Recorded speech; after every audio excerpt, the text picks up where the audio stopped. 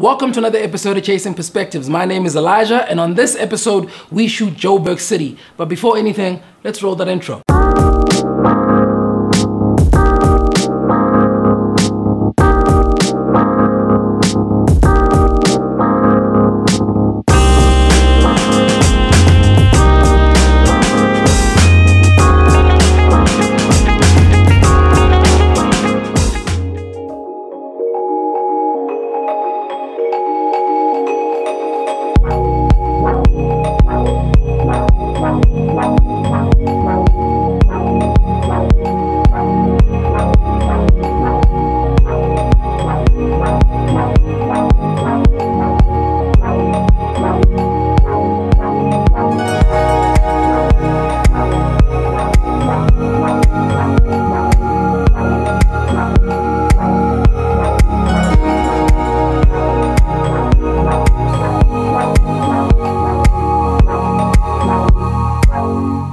Back from another cinematic intro. This is the first episode of 2020. Thank you. Thank you very much.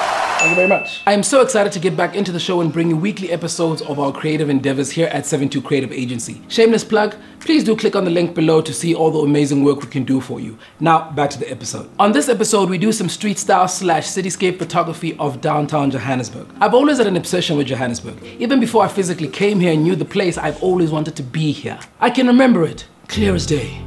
Little Elijah in his home township of Hapani in Limpopo, dreaming big about the big city, thinking about all the amazing things he can achieve when he gets there. And mainly thinking about getting as far as I possibly could from my mom, because I had a very strict mom, guys, and you guys have no idea. All the people with strict moms out there know that these people will keep you close until you die, but that's besides the point. The point is, Johannesburg was the place for me. It was the one place that I knew and I had a strong feeling that I could make my dreams a reality. And then I got here. It was amazing. I had a few amazing years of growth, prosperity, and it just felt so right. Until I got robbed at gunpoint while on a shoot with models and a client and you know how the whole, you know Joburg. Joe, you guys know exactly what happens in Joburg. Ever since then, I actively stay away from shooting downtown. Like actively. But I recently realized that I'm letting my fear get the best of me. Yes, it was a scary situation, but that should have never been the reason for me to stop pursuing the things that I love and shooting the way that I wanted to shoot downtown. I just realized that you just gotta keep going, you just gotta pursue the things that you love, and also be very, very careful. But another very important thing is that listen to your gut feeling. Your gut feeling will tell you if something's for you or it's not for you, or if it's a safe situation or not. If that gut feeling says, don't do this, not today, trust me, listen to it, it will do you a world of good. So I decided decided to beat my fear and go back downtown and capture parts of the city that I found interesting. And this is how it went.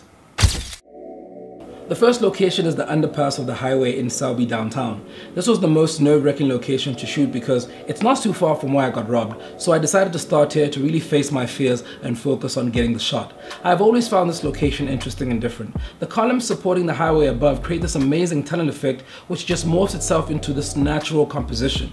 It was dark, dingy, and had so much potential. I wasn't trying to complicate things in this location. I just wanted to shoot whatever happens right in front of me, and lucky for me, a taxi whizzed by which added to the composition brilliantly. Location number two. It was where I had to really flex my street style photography muscles. I really wanted to capture the life in the location as much as I could. The location is basically behind the taxi rank. The goal here for me was to capture the taxis moving into the taxi rank, something we barely think about, while focusing on the huge body of water that never seems to go anywhere in this place. I felt the taxis made this more interesting. The way that life moves in one linear direction here. Like it's a point A to point B perspective. No complications, just people moving to exactly where they needed to be. Thinking this way made me capture these images in a very flat and straightforward way, while also considering motion wherever I saw it.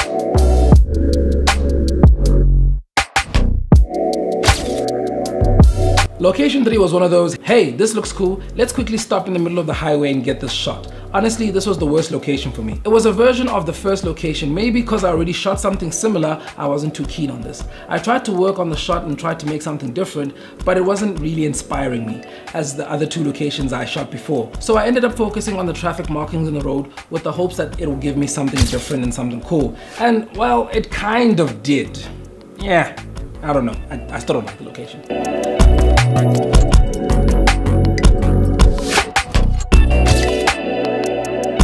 Location 4 was in Hillbrow. I wanted to get up close and personal with the Hillbrow Tower. I've always shot it from a distance. I thought this time was my chance to get up close. I did get close and saw the area where it was located. And my gut feeling was like, nah, bruh. It was too dodgy. So I opted to still shoot it from a distance.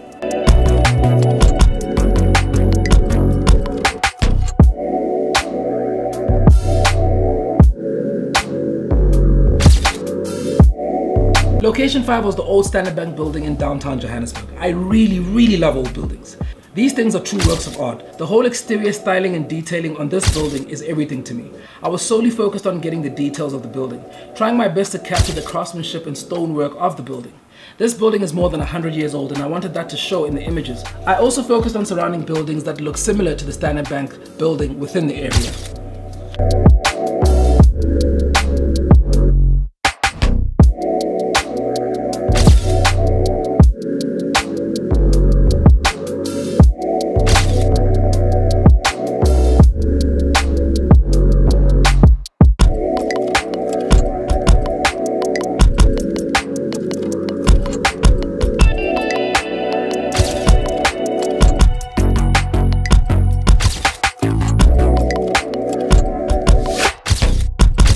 These are all the images from the shoot. I learned that as much as fear is a tool that our body uses to protect us and warn us, it can also be the reason good things don't happen to you. I'm really happy with taking the dive and really facing my fears, because if I didn't do so, I wouldn't have gotten these amazing, one-of-a-kind images.